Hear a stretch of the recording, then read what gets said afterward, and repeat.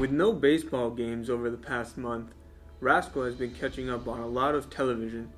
His favorite show, dog competitions. So when Rascal heard that the 33rd annual USA GSD National Championship was coming to Modern Woodmen Park, he decided to be a part of it. He tried to make it as a helper, but quickly realized being bitten by a dog wasn't worth the low pay, daunting hours, and physical abuse. So he gave judging a shot. However, his intolerance to failure and poor execution didn't settle well with the seasoned vets. Finally, Rascal tried to compete against the dogs. At first, Rascal didn't appear to get the idea of biting the sleeve, instead, rolling over on his backside, looking for a good stomach rub.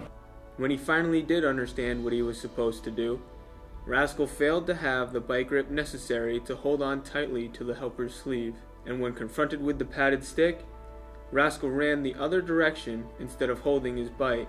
When asked about his grip, helper Sean Murphy seemed unimpressed with Rascal's bite. His bark is definitely worse than his bite. That was probably the worst grip all weekend. Undaunted by his failure to bite the sleeve, Rascal worked on his retrieval with handler Jeff. Again, Rascal appeared disinterested in fetching the wooden dumbbell, to the frustration of his coach. Eventually, Rascal figured out that if he were to compete in this competition, he would have to retrieve that dumbbell.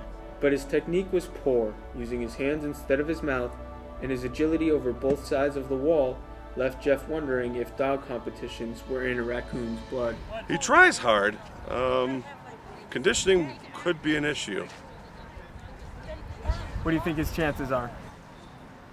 Hmm. Like a snowball in a blast furnace. With his dream of competing in a professional dog competition all but done, Rascal went back to the TV to watch his second favorite show, flag football. Born with a baseball and a bat in his hand.